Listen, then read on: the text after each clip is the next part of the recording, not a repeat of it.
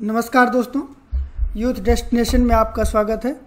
तो काफ़ी दिन से जिस चीज़ का हम लोग इंतज़ार कर रहे थे और जो हमारा प्रोग्राम एक बार प्रारंभ किया गया था, जो मेंस आंसर राइटिंग वाला था, वो किसी कारणवश बीच में रोक दिया गया था, लेकिन आज से उसको पुनः प्रारंभ किया जा रहा है। और उसको आप हमारी वेबसाइट पर सीधे जाके देख सकते हैं। उसको आप कैसे देखेंगे, उस चीज़ को यहाँ यहाँ पे हम डिस्क्राइब करेंगे और उसके बाद में उस क्वेश्चन का डिस्कस किया जाएगा और क्वेश्चन का डिस्कस करने के बाद में शाम को उसका एक वीडियो सॉल्यूशन आपको प्रोवाइड किया जाएगा, जिसमें उस क्वेश्चन के मॉडल आंसर को डिस्कस किया जाएगा और किस प्रकार से उस क्वेश्चन को आप सॉल्व करें, किस प्रकार से आपकी राइटिंग स्किल होनी चाहिए उस पर कौन कौन से टर्म उसमें आप यूज़ करेंगे कौन कौन से डायमेंशंस उसमें होने चाहिए, उन सारी चीज़ों को उस वीडियो के माध्यम से आपको जिस, जैसे आज आपका क्वेश्चन अपलोड किया गया तो अगले दिन मॉर्निंग में उसका पूरा मॉडल आंसर विद एक्सप्लानेशन के साथ में आपको प्रोवाइड कर दिया जाएगा। तो स्टार्ट करते हैं। तो ये आप आएँगे हमारी वेबसाइट के डैशबोर्ड में। करंट अफेयर वाला सेक्शन है। करंट अफेयर वाले सेक्शन में मेंस आंसर राइटिंग का एक टैब बना हुआ है। जब आप इसको क्लिक करेंगे तो एक आपको डैशबोर्ड इस तरह से दिखेगा, जिसमें यूथ डेस्टिनेशन के नाम से है। तो यहाँ पे आएँगे मेंस आंसर राइटिंग कैसे करना है, ये कुछ इंस्ट्रक्शन वहाँ पे दिए गए हैं। उनको आप पढ़ सकते हैं। पढ़ने के बाद में, आज हमारा डे फाइव है। डे फाइव में मेंस का जो क्वेश्चन है, आप यहाँ पे क्लिक करेंगे। तो क्लिक करने के बाद में, आपको इस तरह से हमारा डैशबोर्ड खुलेगा। ब्लॉग खुलेगा, जहाँ पे आज के क्वेश्चन मेंशन किए गए हैं। इनमें यह किया गया है कि सबसे पहले क्वेश्चन के टॉपिक को बताया गया है कि यह किस टॉपिक से रिलेटेड है, उसके बाद क्वेश्चन है, और शाम को जो इसका पीडीएफ मिलेगा और वीडियो सॉल्यूशन मिलेगा, उसमें इसके मॉडल आंसर को भी यहाँ पे डिस्कस किया जाएगा, उसके फॉर्मेट को डिस्कस किया जाएगा। तो देख लेते हैं। पहला क्वेश्चन है कि भारतीय संस्कृत में प्राचीन काल से आधुनिक काल के काल तक के अगर काल रूप में देखा जाए तो जो साहित्य सॉरी तो पहला क्वेश्चन है वो भारतीय संस्कृत में प्राचीन काल से आधुनिक काल तक जो कला के रूप हैं, साहित्य और वस्तुकला है, इसके प्रमुख पहलुओं से संबंधित क्वेश्चन है। तो जो पहला क्वेश्चन है कि मुगल बादशाहों के मकबरे मुगल शासकों के उत्थान और पतन की कहानी को प्रतिबिंबित करते हैं। आप इस कथन से कहाँ तक सहमत हैं? सा उदाहरण इसको स्पष्ट करना है और इसका इंग्लिश वर्जन है Giza tomb of Mughal empire reflect the story of rise and fall of the Mughal ruler how for you agree with this statement including example make it clear तो जो क्वेश्चन पूछ रहा है कि मुगल बादशाह के जो मकबरे थे, मुगल बादशाह 1526 से उसका प्रारंभ होता है, और औरंगज़ेब द्वितीय जो एक्सपायर होते हैं, सत्रह पैंसठ तक आते आते वो समाप्त होता है तो वो किस प्रकार से उसके उत्थान और पतन की कहानी को प्रतिबिंबित करता है, उसी चीज़ को फ़ेज़ वाइज आपको डिफाइन करना है। इसका आंसर आप लिखें, लिखने के बाद में आप इसके डैशबोर्ड में इसको आप लिंक कर सकते हैं। बाद में शाम को इसका एक्सप्लेनेशन आपको प्रोवाइड किया जाएगा कि कौन कौन से टॉपिक कौन कौन से चीज़ें इसमें मेंशन करनी थी। बढ़ते हैं दूसरे क्वेश्चन की तरफ़। दूसरा क्वेश्चन है जो कि संबंधित है government policies intervention for the development in various sector for including, arising and designing and its implementation के लिए है। ये टॉपिक आपका general study paper two polity और गवर्नेंस है। इसमें जो क्वेश्चन है क्वेश्चन कह रहा है कि आरटीआई संशोधन विधेयक 2019 में प्रस्तावित संशोधन क्या है, जो आरटीआई अमेंडमेंट बिल 2019 अभी कंट्रोवर्सी में रहा है, काफ़ी डिबेट रही है उस पर तो उसमें कौन कौन से प्रस्तावित अमेंडमेंट जो उसमें प्रस्तावित प्रपोज अमेंडमेंट हैं, उनके बारे में आपको यहाँ पर डिस्क्राइब करना है। उसके बाद में ये कह रहा है कि ट्रांसपेरेंसी एंड अकाउंटेबिलिटी लाने के लिए या उसको सुनिश्चित करने के लिए सूचना आयोग की भूमिका किस प्रकार प्रभावित करेगा, यह आरटीआई संशोधन विधेयक, इसके बारे में आपको लिखना है।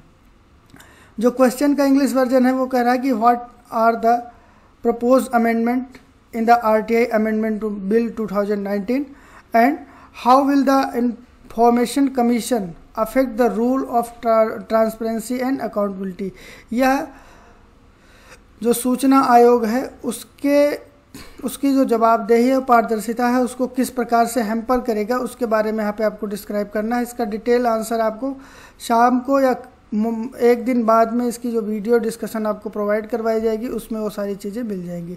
दूसरा स्टेटमेंट है, और दूसरा क्वेश्चन है कि भारतीय अर्थव्यवस्था, जो कि संबंधित है, भारतीय अर्थव्यवस्था योजना संसाधनों को जुटाने, प्रगति, विकास और रोज़गार से संबंधित, विषयों से संबंधित है संबंधित है। वो तो तीसरा क्वेश्चन कह रहा है कि देश की अर्थव्यवस्था में कृषि का योगदान बढ़ाने के लिए किन किन क्षेत्रों में निवेश बढ़ाने की आवश्यकता है? ये क्वेश्चन का पहला पार्ट हो जाता है और दूसरा जो पार्ट है इसका कि क्या देश की मौजूदा चुनौतियों से निपटने के लिए ऐसा करना कारगर होगा? तो ये क्वेश्चन अगर देखा जाए तो इकोनॉमिक सर्वे से डायरेक्टली इनडायरेक्टली रिलेटेड है। देश की अर्थव्यवस्था में कृषि के योगदान को बढ़ाने के लिए जो अभी प्रपोज़ल आपको मिला है इकोनॉमिक सर्वे में काफ़ी सारी चीज़ें फोर्डर पॉइंट आपको वहाँ से मिल जाएँगे। तो संबंधित ये वहीं से है और भाई, भारत की जो फाइव ट्रिलियन इकोनॉमी बनाने के लिए किया गया है तो ये उसका भी संबंध इसमें झलकता है। उस चीज़ को भी आप मेंशन करके लिख सकते हैं कि इस चीज़ को प्राप्त करने के लिए एग्रीकल्चर को किस प्रकार से बढ़ाया जाए, उसमें निवेश बढ़ाया जाएगा तो एग्रीकल्चर प्रोडक्टिविटी बढ़ेगी। तो उन सारे डायमेंशंस को आप लिखते हुए यहाँ पे आप इस क्वेश्चन का आंसर दे सकते हैं। मॉडल आंसर इसका शाम को डिस्कस होगा और उसकी वीडियो मॉर्निंग में आपको मिलेगी। बढ़ते हैं अगले तरफ़, अगले प्रश्न की तरफ़। प्रश्न संख्या चार है। जो कि आपके पेपर थ्री से रिलेटेड है। पेपर थ्री के science and technology development and their application and effect in everyday life रोज़मर्रा के जीवन में विज्ञान प्रौद्योगिकी के अनुप्रयोगों का जो प्रभाव है, उससे संबंधित है। तो उसका जो क्वेश्चन है कि चेहरा पहचानने की जो तकनीक है, को समझते हुए यह बताइए कि विधि प्रवर्तन में इसके उपयोग से किस प्रकार के परिणाम प्राप्त हो सकते हैं? आलोचनात्मक टिप्पणी करना है। यानी इसका जो इंग्लिश वर्जन है, कह रहा है कि explain the face recognition technique and what kind of consequences will be obtain from it use in law enforcement यानी जो कानून का इन्फोर्समेंट है, उसको प्राप्त करने के लिए जो फेस रिकॉग्निशन टेक्निक है, ये कहाँ तक सहायक हो सकती है, इसका क्रिटिकली एनालाइज करना है आपको क्रिटिकली कमेंट करना है। तो ये आपका इंपॉर्टेंट टॉपिक है। अभी साइंस एंड टेक्नोलॉजी में ये काफ़ी दिन डिबेट में रहा है। तो इस चीज़ को भी आप पढ़ के इसका आंसर लिखने की कोशिश करिए और इवनिंग में इसके सॉल्यूशन को प्रोवाइड किया जाएगा। नेक्स्ट क्वेश्चन है जो इथिक्स से रिलेटेड है। इथिक्स से भी कह सकते हैं और ये क्वेश्चन बेसिकली अगर देखा जाए तो कानूनी आधार पर देखा जाए तो जनरल स्टडी पेपर टू से है, लेकिन अगर इसके एथिकल डायमेंशंस को जोड़ दिया जाए तो ये एथिक्स से संबंधित हो जाता है। तो आपका जो प्रोस्पेक्टिव होना चाहिए, वो आप इसे general study paper two and general study paper four दोनों के बेस पे देख सकते हैं। तो क्वेश्चन है कि दल बदल विरोधी कानून होने के बावजूद भी दल बदल की जो बढ़ती हुई घटनाएँ हैं वो सा, घटनाएँ सार्वजनिक जीवन में नैतिकता की जो भूमिका है, को दिनों दिन कमज़ोर कर रही हैं। ये तो क्वेश्चन का पहला पार्ट हो गया। दूसरा पार्ट है कि सार्वजनिक जीवन में नैतिकता के किन उपायों के माध्यम से इनको सुदृढ़ बनाया जा सकता है। ठीक? तो ये जो अभी कर्नाटक में पॉलिटिकल टर्मोइल चल रहा था और बीजेपी के सांसद उसमें टूट रहे थे और कांग्रेस में, कांग्रेस के बीजेपी में। तो उसके ऊपर ये क्वेश्चन बनाया गया है। वहाँ से आप, उसके इंटेंशन आपकी और जो कंटेंट होगा, आप उसी को बेस बना के उसके एथिकल डायमेंशंस को यहाँ पे डिस्कस कर सकते हैं। डिस्कस करने के बाद आपको करना क्या है कि यहाँ पे आएँगे जो आप रिकमेंडेशन बोर्ड दिख रहा है, यहाँ पे जो कमेंट वाला सेक्शन होता है, आप यहाँ पे अपना आंसर लिखने के बाद ये जो अपलोड इमेज का ऑप्शन है, यहाँ पे टैब को क्लिक करेंगे, तब आप अपने डैशबोर्ड से उस चीज़, जो इमेज आपने क्लिक की है अपने आंसर की, उसको यहाँ पे अपलोड कर देंगे। अपलोड करने के बाद में उसके आंसर को जहाँ पे चेक किया जाएगा, और चेक करने के बाद में आपको उसका एक बेहतर आंसर मिल जाएगा, और साथ ही साथ उसका वीडियो सॉल्यूशन भी प्रोवाइड किया जाएगा। तो इस तरह से आज का ये क्वेश्चन है।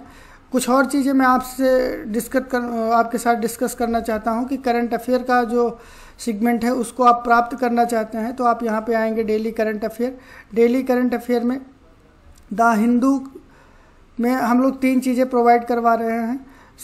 द हिंदू का एडिटोरियल एनालिसिस आपको प्रोवाइड किया जा रहा है डेली एमसीक्यू प्रोवाइड किए जा रहे हैं, और साथ ही साथ करंट अफेयर भी आपको प्रोवाइड किया जा रहा है। तो एक बार मैं दिखा देता हूँ कि आपको किस तरह से कंटेंट यहाँ पे मिल सकता है।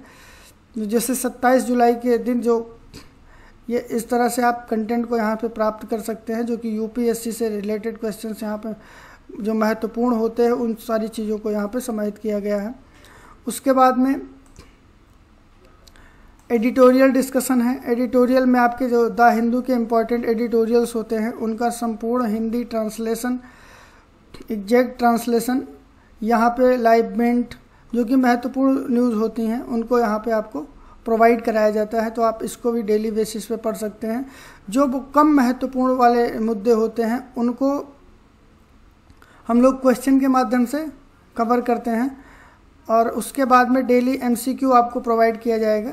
डेली एमसीक्यू में आप देखिए तो डेली एमसीक्यू यहाँ पे आपको मिल जाएगा, और डेली एमसीक्यू में जो एक मतलब पिछले दिन की जो महत्वपूर्ण न्यूज़ होती हैं, उनसे संबंधित एक क्वेश्चन बनाया जाता है यूपीएससी लेवल का, और उसका विद एक्सप्लेनेशन आपको यहाँ पे पीडीएफ प्रोवाइड किया जाता है। तो ये सारे कुछ इनिशिएटिव हैं, आप इनको लगातार फॉलो कर सकते हैं और अपने आंसर को लिख लिख सकते हैं। धन्यवाद दोस्तों।